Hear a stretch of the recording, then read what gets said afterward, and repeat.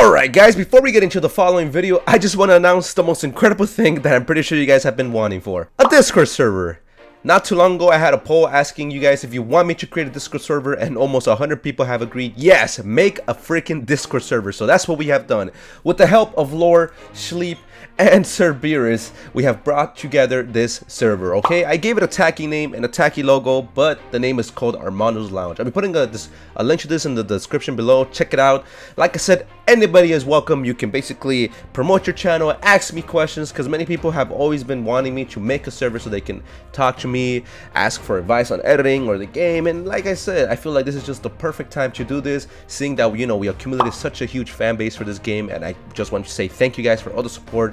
Come on in, ask any questions away, but keep it very PG-13 because I don't want to come back and find out you guys posted some crazy stuff on this server. Now, without further ado, let's get right into the video. How's it going, everybody? My name is and welcome back to another Dead Frontier video. So, guys, I never really understood why someone just didn't cover these questions in the Dead Frontier forums or something. Oh, wait, they have! Why do people keep constantly asking about these specific questions? Well, usually because they're genuinely new players and have no idea how the game functions, or they just refuse to listen to any advice and just continue to beg.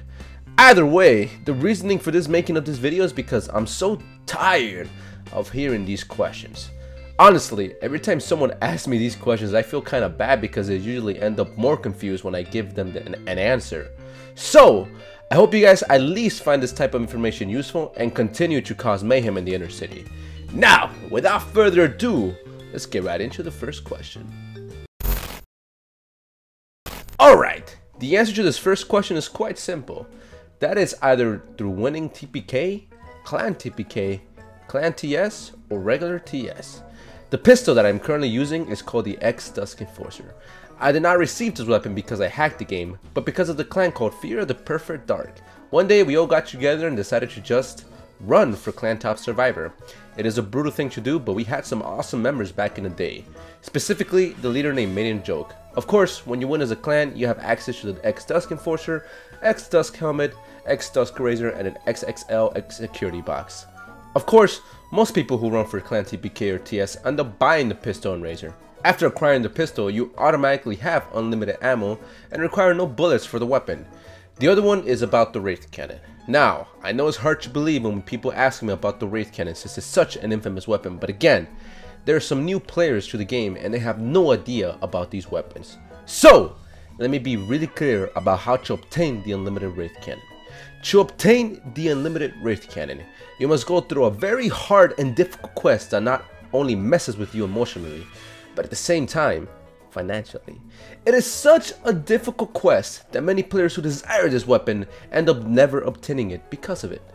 To obtain this weapon, you must take your credit card, go to the credit shop, and spend $500 on the weapon. That's it.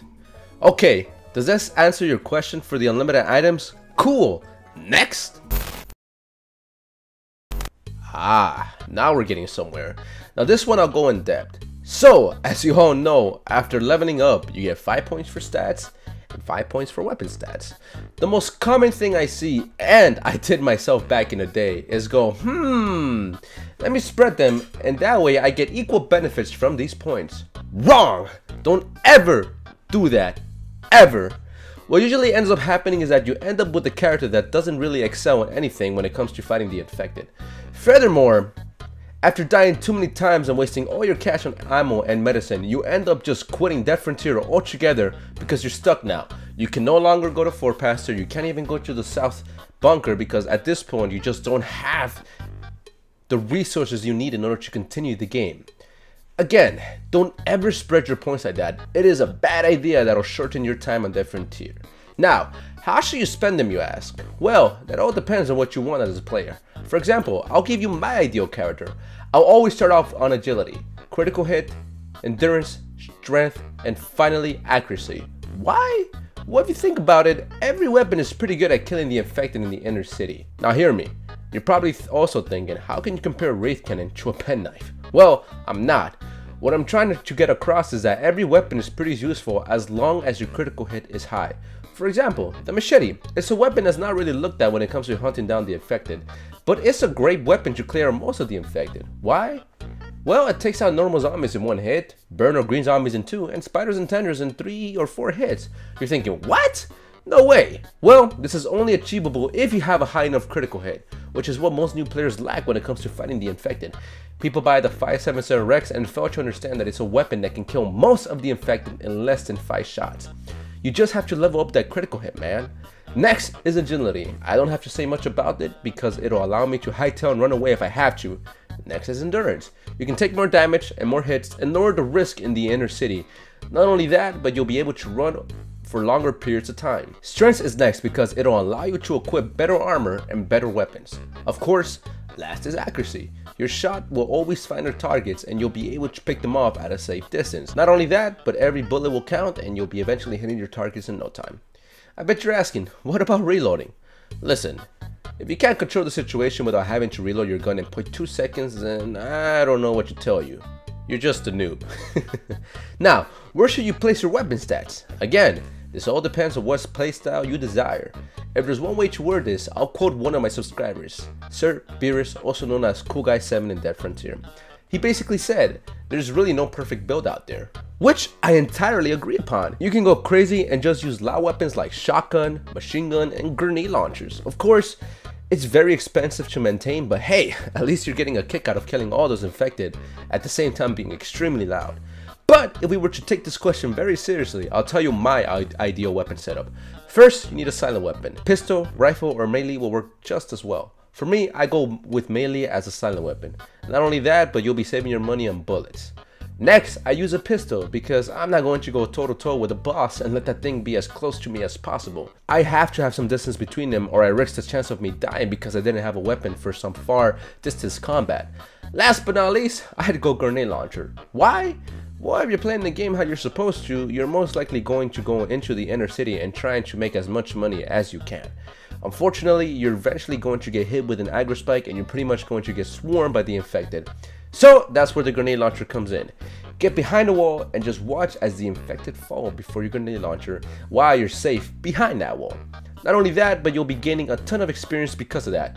Now, if I remember correctly a while ago that if you stand still, you won't be rewarded with the experience. So, do me a favor, strafe a bit to the left or right, just so you won't risk it. Last but not least, I bet you're thinking about PvP. Well guys, PvP is a whole different thing, alright? I'm pretty sure you're gonna need about uh, 500 million implants, uh, drug booze, and uh, yeah, let's just end it right there.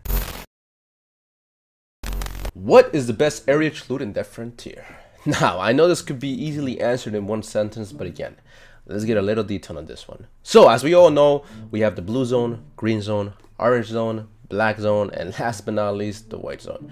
So judging by the way I ordered these, you all know that the best area to loot is the white zone. Many people may be asking, but isn't it better to loot on the NEZ since this since that's also a white zone and is closer and blah blah blah blah blah? Well, no. As far as I'm concerned, for some odd reason, and I've had several people tell me that the southeast end zone is a lot more successful than any other looting area available in Dead Frontier. Now that I told you where to go loot, I bet you're asking now, where is the best place to loot? Well, if you go to this specific area, you'll not only have the bunker to loot at, but there's also a hospital in the exact same area. So not only are you looting in the southeast end zone, but you're looting two buildings that have the most available loot possible. Let me just cover a quick thing about this topic before I'm done. Not too long ago, there was a rumor that admin implemented that if you loot the same area for a long period of time, your loot chances begin to drop significantly. So remember, walk around, loot different areas, and enjoy the open world that Dead Frontier has to offer. Not only that, but if you're brave enough, you can also try to kill bosses that invade the White Zone. But remember, you're in an area that offers a better chance of looting a legendary, so I say go for it. You can easily make around 100k an hour on this area, and that's me just taking a number out of the top of my head. I looted here back then with Gold membership for just 3 days and made 3 mil with just 3 hours of, of looting a day. For non-Gold members, I'm not too sure, but I'm pretty sure you can still easily make around 100k an hour. Alright guys, so I hope I managed to answer all of your following questions and that I gave a bit of insight. There are hundreds of questions in the Dead Frontier community, and if you want to go watch another video of this, leave a like in the video below. Go ahead, go crazy, and I'll try to answer your best questions to the best of my ability. Alright, so this is Armando signing off, and I'll see you sexy bastards very soon. Take it easy. Bye.